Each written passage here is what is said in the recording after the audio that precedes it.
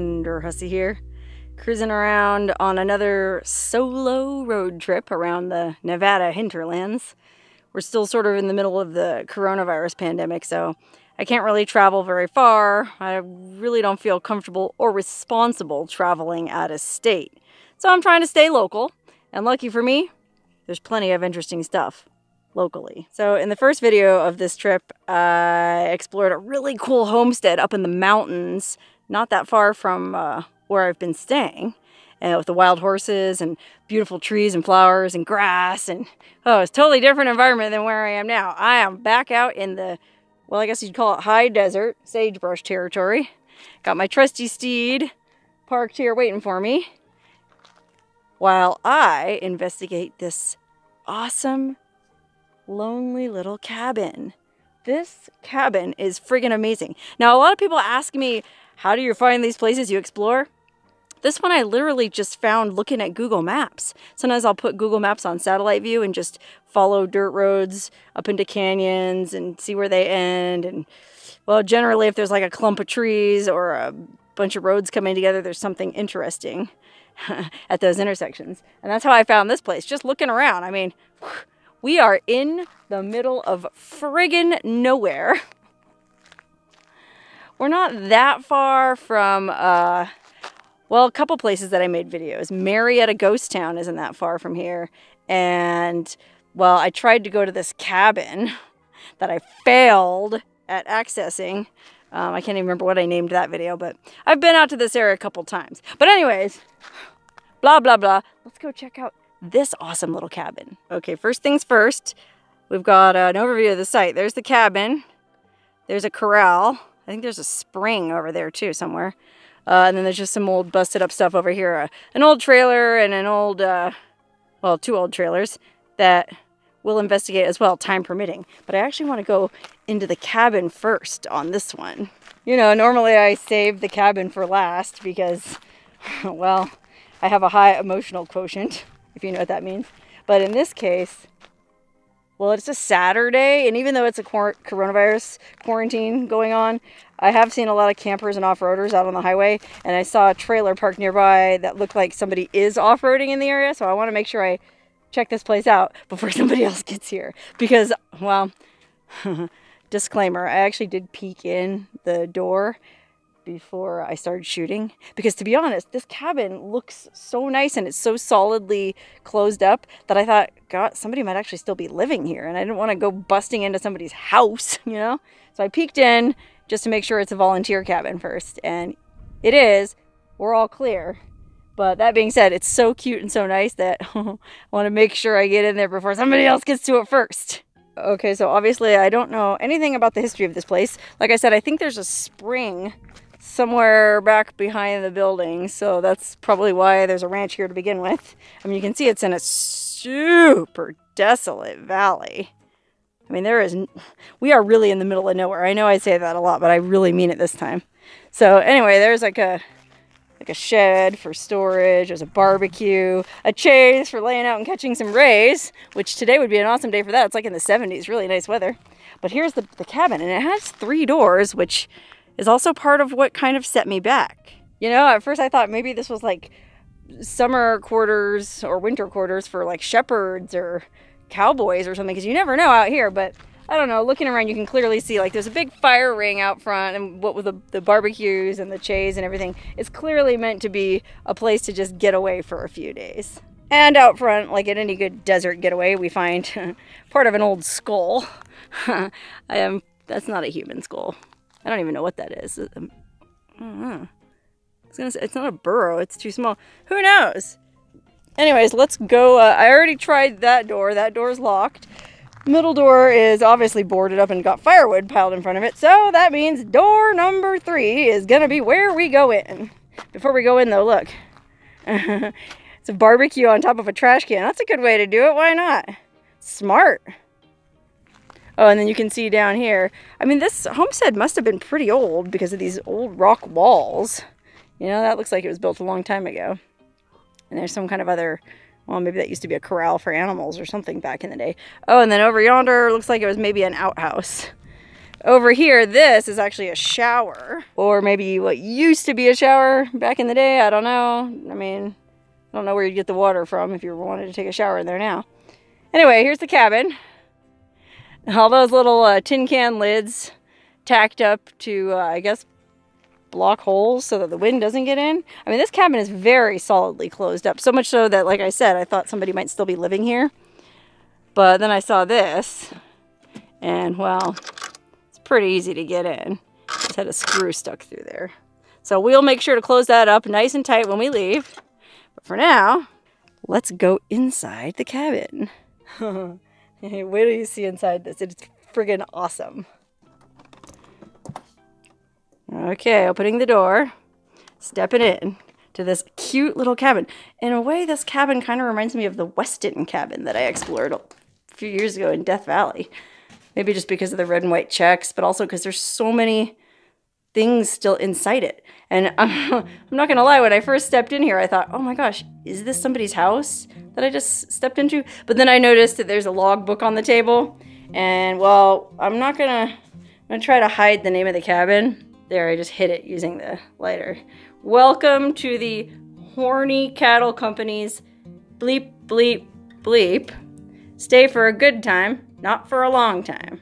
So that tells me that this is a volunteer cabin, and I think that's actually really good advice. Stay for a good time, not for a long time. You don't want to stay here for a week and hog the place, you know?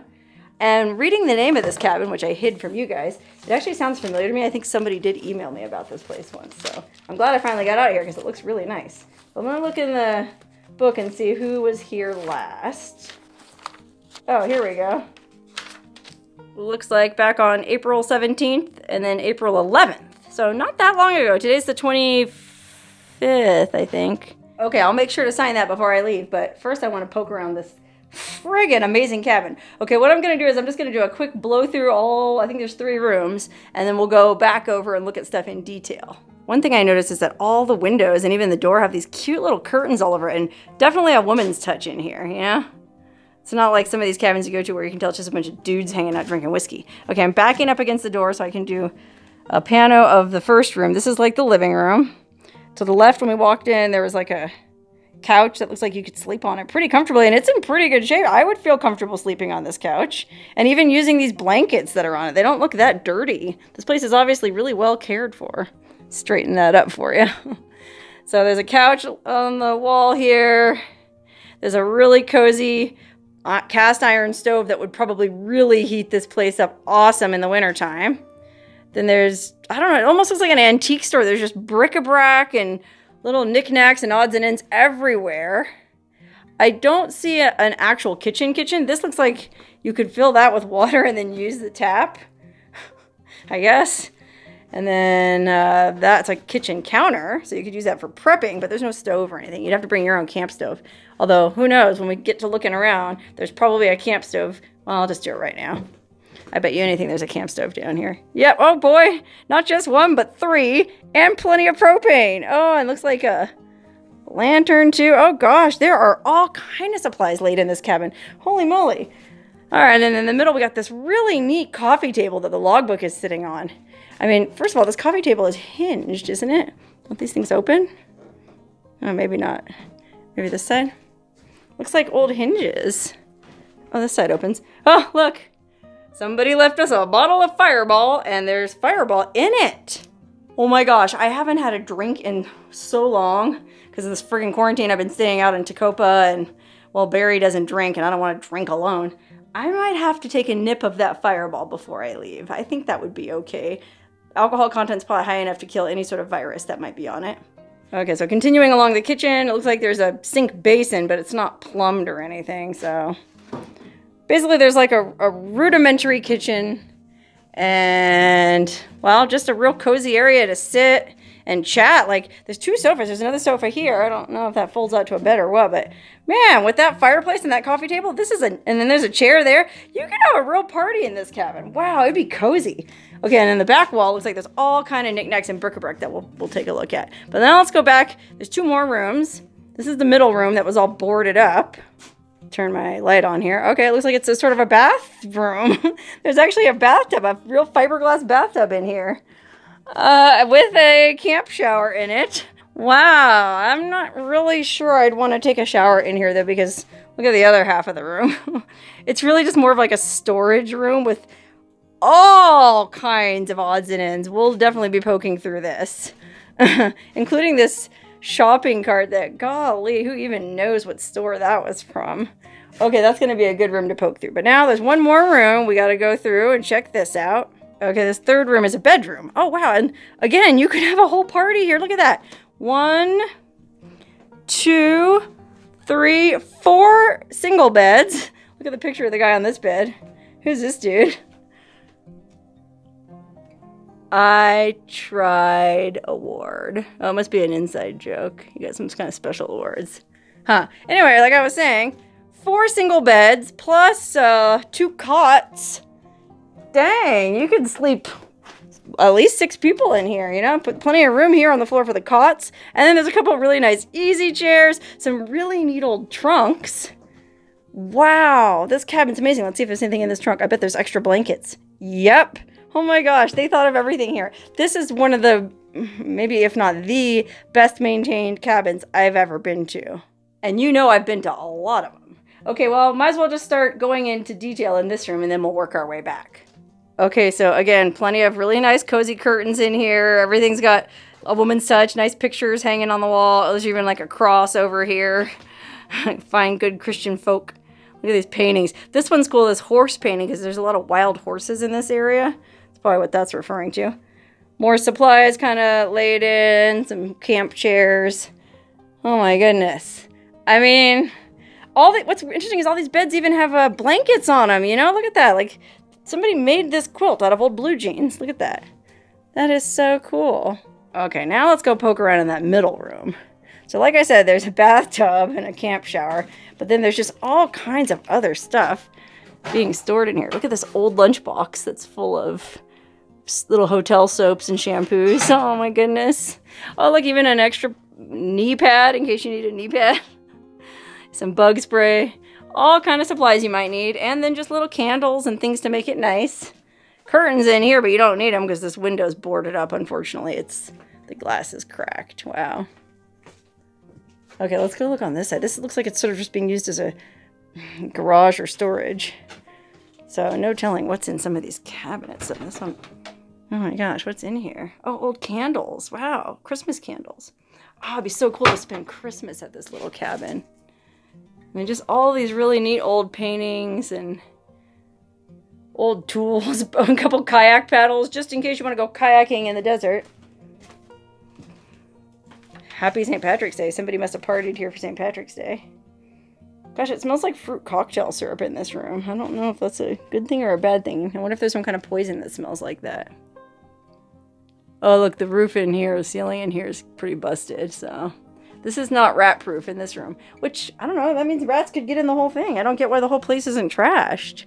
It's interesting. I mean, there is some rat poo on the floor here, but I mean, that first room we went in, it didn't look dirty at all in the bedroom either. Oh, wow, look at this old fishing tackle box with some hardware in it if you needed to do any repairs. Oh, there's the flag up top. If you wanted to let everyone know you were staying here, you would hoist that.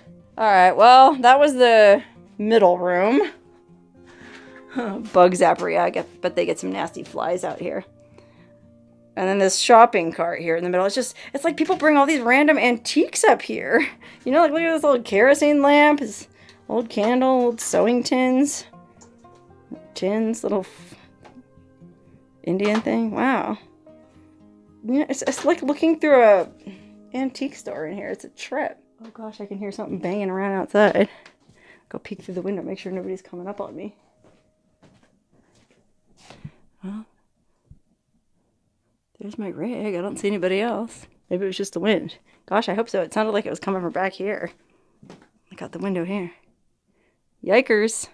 Probably just the wind, but at the same time, it's a good reminder that I shouldn't hang out in here too long. I am all by myself.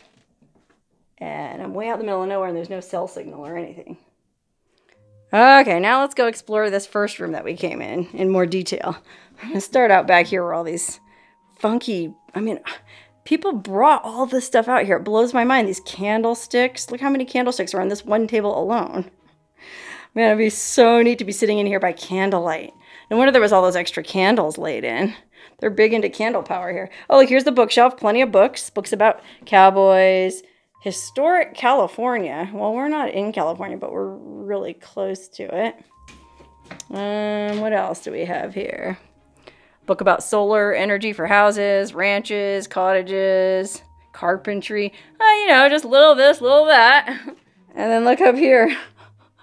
Every kind of oil lamp you could ever hope to want in your entire life. Holy moly. Look, there's even a candle chandelier. Look at the curtains. I love this trim. Oh my goodness. It's like pom-pom trim on these red and white check curtains. How cute. Okay, this table here has got all kind of, well, artifacts and decorations like this old cowboy. This, oh, it's a boot, but it's a candle. And then this looks like all rocks and stuff that they found, people found in the area. Like, look at these old arrowheads. Old obsidian arrowhead. That's cool. I bet they found that right here in this valley. And that looks like a little tiny arrowhead too. I don't know what kind of rock that is. That's cool. People found that and then just left it here for everyone to enjoy. I, I can really get behind that. Oh, here's a little tiny radio for emergencies if you had to like try to figure out what was going on with the coronavirus while you're holed up in here quarantining. Oh my gosh, what if you did quarantine from the coronavirus here in this cabin? You stayed out here like until it was all blown over. You could, as long as you had, I don't know about the spring, but if you had water, I could stay here for a few months easy. Okay, let's see. Here's some pictures of, oh gosh, look, donkeys having sex. These look like maybe some old uh, pictures of people who used to maintain this cabin. Huh, interesting. And then let's see, more candles. Just candles and knickknacks. Um, oh, it looks like up here the Underground Explorers were, at least somebody who belongs to the Underground Explorers was here. That's a big group of people who explore mines. Oh, look at this old box.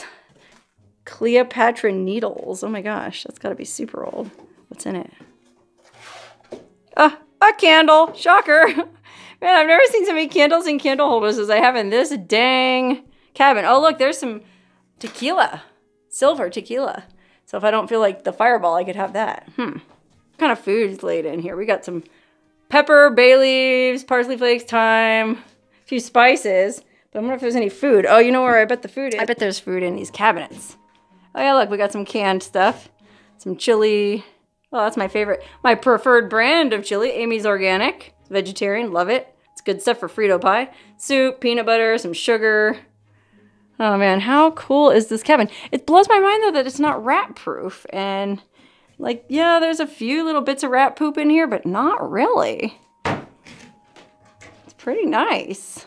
Uh, so there really isn't a lot of food laid in here. That might just be because it's not rat proof. Let's see what's on this side. Oh, pots and pans. Oh, here's some Rubbermaid bins. Probably have some stuff laid in there because they're rat proof. Oh no, they're not even closed. Just styrofoam plates, stuff like that. Oh, and then there's a dartboard here. so you can drink some beers and play darts. Wow, it just blows my mind that this place is this nice and tidy. And it's not even rat proof. That makes me think I want to leave something here uh, to make up for the sip of fireball that I'm going to take. So to see what I have in my car that's uh, that rats won't be able to eat. Anyway, I guess I might as well go ahead and have a seat and sign the old logbook here. And there are a lot of, uh,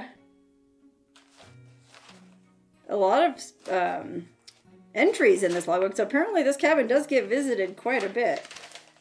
Let's see. Today, what I say it was? 25th.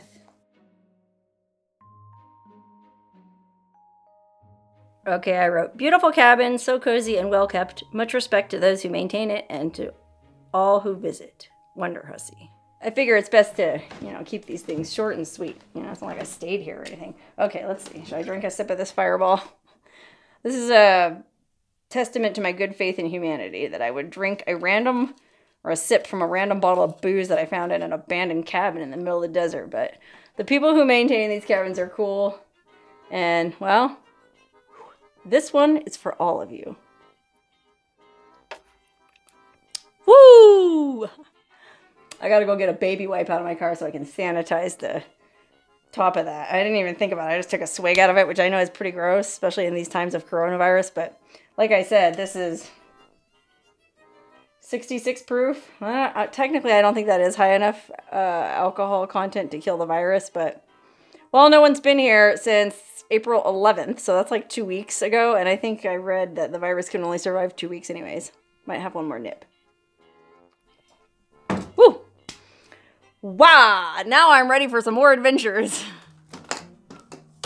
Okay, I just went back out to my car so that I could get a Sani wipe to sanitize the um, top of that bottle. And also, I got some packets of instant coffee, some instant Bustelo that my friend John from Beatty gave me. Thank you, John, if you're watching this. Uh, I'm going to take a few of those out and leave them here in this cabin in case a future visitor uh, forgot to bring their coffee and, well, needs a little morning pick-me-up. Now, I don't know. I guess I'll put them in this jar with the sugar. I feel like that way the rats can't get it. There we go. Now there's coffee and sugar for the next person. oh man, wow, I sure am sad to leave this cabin. I mean, gosh, I was only in here for what, 20 minutes? But, I don't know, I'm alone, you know, what's the point? Am I gonna sit here and twiddle my thumbs? And besides, there's all those other things in the area that I wanna go check out. Bye cabin, see you next time. Okay, I'm gonna close this up just the way we found it and put the screw back through to hold it in place. Now it's locked up tighter than a you know what. Okay, now before we leave, I'm just gonna poke around the grounds a bit and see, well, just see if there's anything else interesting that we missed. Okay, first I'll go around the side here. I mean, that looks like it's just an old corral. There's nothing much to see down there. And then around the back, oh, that must be where the spring is. Look, you can actually see green grass. Oh yeah, there is some standing water here. Wow. I mean, that water looks pretty gross, but if you were lost out in the desert starving to death, you'd be happy to see it. Oh, look in the middle there. It does get pretty deep. And then look at the view beyond it. that is some high lonesome, as Louis L'Amour would say. Oh, wow, look at this. Okay, walking over from the green area back to the cabin, there's this big depression with standing water in the bottom and some pretty tall bamboo reeds, or bamboo type reeds. So that must have been the spring and there's pipes stuck in it. So I'm guessing that's where they got their drinking water. Man, far out. This little cabin, well, it's so different in some ways from the cabin I explored yesterday. Uh, that one up in the mountains. Different in a lot of ways, but very similar in a lot of ways, you know? Which one would you rather live in? Up in the mountains with those beautiful pine trees and flowers and wild horses? Or out here on this amazing high desert plain with these incredible sweeping vistas and wild horses. Hmm. Guess it's just a matter of opinion or a matter of preference. Okay, here's the first trailer. It's a truck without the wheels and without the cab. Oh, funny. And then it's just full of old barbed wire and detritus, basically. But let's check out this old trailer. This trailer kind of reminds me of my own little travel trailer. Which, by the way, my poor little travel trailer has just been sitting at my house unloved and unused because, you know, all the festivals are being canceled because of coronavirus. Not even any Burning Man this year. So I don't know. I probably won't use that thing all year. Oh, wow. Look. Look inside this one. This is completely trashed. But it's kind of cool. Look at the old stove. Dixie. Oh, man. Looks like it was pretty cozy at one time. Little cabinets up there. But gosh, not anymore. Okay, far friggin' out. I'm so glad I took the time to drive to this little homestead. I mean, I was sort of in the area anyways, I guess. but it was totally worth the trip. And even though I'm alone and I don't have anyone to share it with, guess what? I do. you. I hope you enjoyed checking out this little cabin site. And well, if you enjoy watching my videos, I make new ones every Wednesday, and I'm very consistent about it. And well, if you want to help me pay for my gas or something like that, or buy me a pack of Bustelo, uh, there's links in my description to my PayPal and my Patreon and all that stuff. So check it out. And also, make sure to, well, if you like the video, like it, and then comment below which cabin you'd rather live in. This desert cabin or the one up in the mountains the other day. I'm curious to see which one people liked more. Anyway, I'm gonna go uh, exploring yonder in the mountains across that dry lake bed. There's all kind of good stuff hidden up in them there hills. So stay tuned.